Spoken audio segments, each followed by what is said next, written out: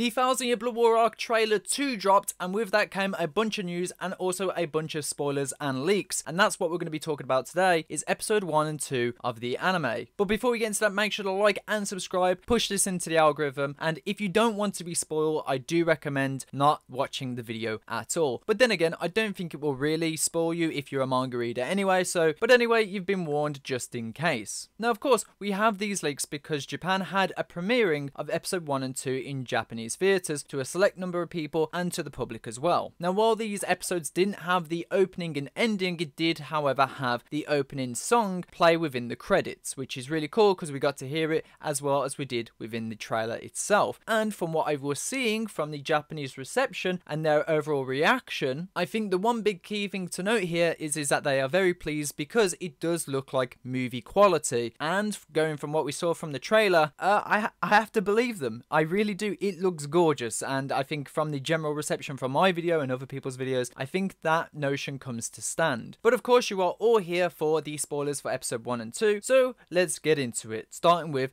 episode 1. Now, of course, with episode 1 and 2, it does adapt 9 chapters of the manga. The first one being, of course, episode 1 covering 5 chapters, and of course, episode 2 covering 4 chapters. And if you've been a fan of mine for a while, you would know that I also said in many streams that it would be on the average of 4 chapters an episode, which again is fine because that's what the old Bleach anime did anyway. Plus, with the added extra content as well. Now, of course, I did hear that the runtime was longer than normal, so I'd have to research a little bit more about that to see if that is valid. Ready for the New Year's video that I will drop in maybe the coming days. Again, be subscribed for that. So, the first episode is going to be called The Blood Warfare. This is on the official Bleach anime website, along with the staff, and again, the staff look great as per usual. The episode starts off with how we saw the first PV with Yhwach giving his statement about taking over the world in nine days, regaining his strength in 90, etc. etc. So I feel like that's a good way to start the episode scenes as throwing in Yuki and Shino isn't really probably the best way to throw an introduction, but throwing in Yuha and then I imagine the opening, which was a cut from the, the premiere, and then going into Yuki and Shino is probably the best transition into things to really set the tone and mood. Now there were some changes. Apparently the Yuki and Shino with Kurumadani in the Soul Society is more so moved to the world of the living,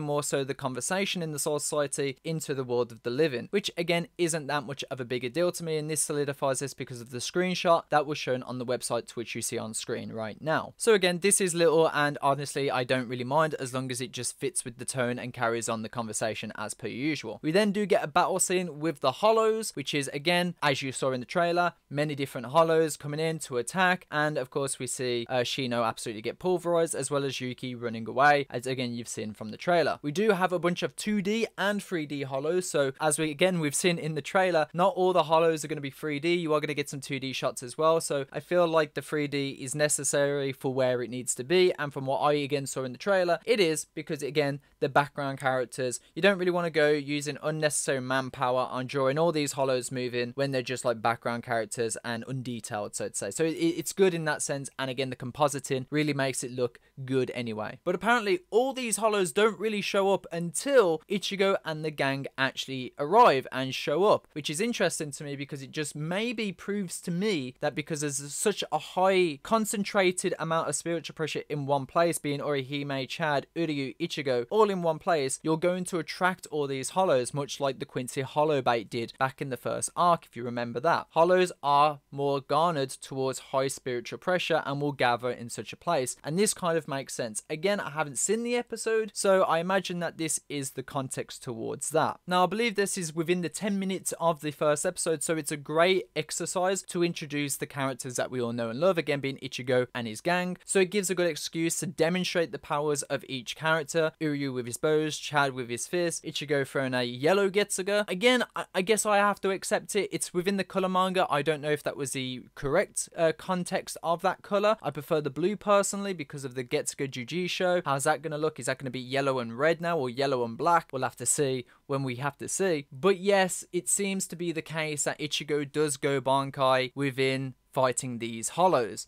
Don't know why, don't know the context. Uh, it is fan servicey at the end of the day. But again, as long as it's done right, um, then I can't I can't complain. I do feel it's unnecessary, but for the sake of narration, I suppose again it's to get people hyped and excited and to flex whatever animation muscles uh, Taguchi wants to kind of show here. But after like the first 10 to 15 minutes, you then get the continuation of how the chapters would go normally. Following up that at the end of the episode, Yuha removes the arm of one of the servants to display like how OP and merciless he is. And then I imagine on the second half of the episode, you are then going to have the Ichigo versus Ebern confrontation where, you know, he tells him to get off his bed, which we've heard, you know, episode leak audio leak sounds of them two interacting in the first episode. So I didn't really listen to it because I don't really want to take away the immersion, but I did hear a little bit of that scene and it seems to be that, you know, we're going past that, which again, as I said, going through five chapters. So again, we're going to get a bit of Ichigo and a bit of Ebern. Is it Ebern or Ivan? You tell me in the comments section down below. I think it's Ebern, which again, I think is fine. I think it's a great way to kind of in- introduce the characters, give the first big bad villain that Ichigo faces, showcase a little bit of cool animation,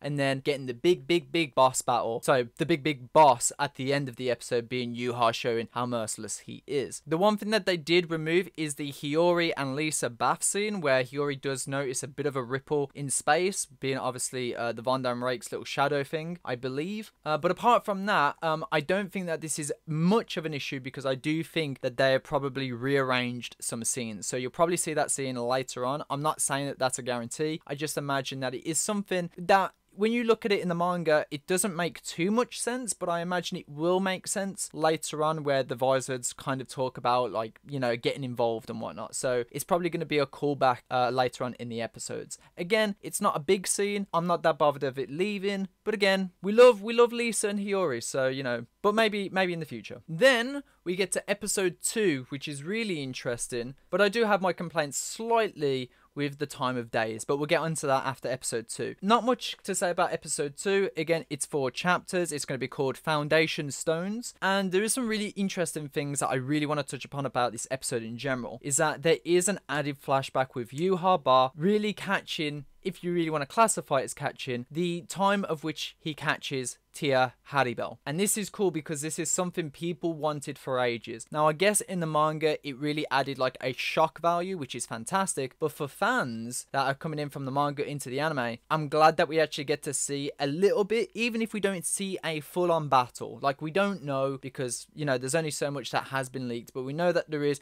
a flashback, which you will notice in the trailer is when Yuha is descending down with two pillars of blue light coming from his fists. And if you look as well at the bottom of the, the trailer of that shot, you see a bunch of like Quincy like insignias on like poles and stuff, as you would expect in like a raid or a war. You know, the whole like pitchforks and, and torches type of deal. And it's really cool because the great thing about this is apparently Pesche is the one that is the MVP of this scene because while Tia Haribel still has, you know, a bit of fighting breath left in her, she actually orders Pesche to like get everyone out. And I imagine that that is like And whoever else, right? Uh, I think it was just Nell because I think Dondochakka got left in Hueco Mundo at the time. So he managed to get Nell out of there, which you again think about it. If Pesche never did that, Nell couldn't have fulfilled her duties in the the final arc of the war as well. So I mean, it's kind of good. I don't know how much Nell would have really lasted if she got captured with Haribel, but I'm glad because Pesche managed to get Nell out of there, get to the world of the living, and give Ichigo the warning. So the past or the flashback is told via Pesche's narration, which again I think is a great scene to add. And um, shout outs to uh, Taguchi and